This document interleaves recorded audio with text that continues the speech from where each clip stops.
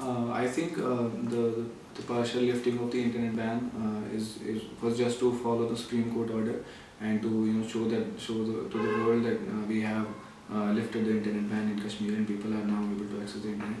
But in reality, uh, there is, like people still are not able to access the, even the websites that are mentioned in the list, and there are due to the you know only because they can access the internet using the 2G connection so um, they are not able like websites are not loading because there is very you know, low bandwidth.